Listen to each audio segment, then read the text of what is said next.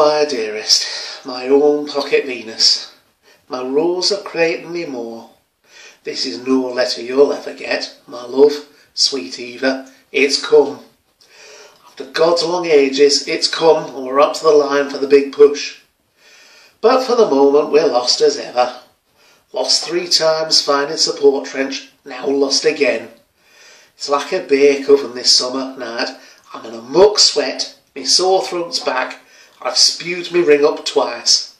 They say Jerry is beat, but lads have seen his observer balloons up all afternoon watching every move we make. I was ready enough once.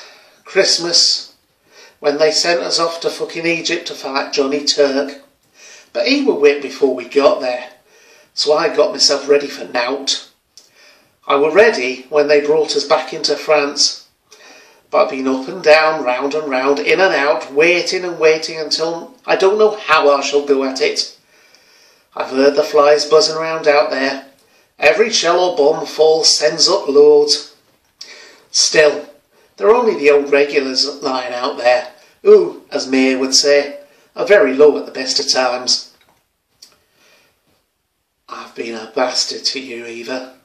If only you knew. Slept with oars, and one little mamselle in Amiens who'd take no pay. I sat on her doorstep right after and cried for you. All I want to volunteer for now is a night raid on your bosom in a field of snowy white bed sheets. That's a fact.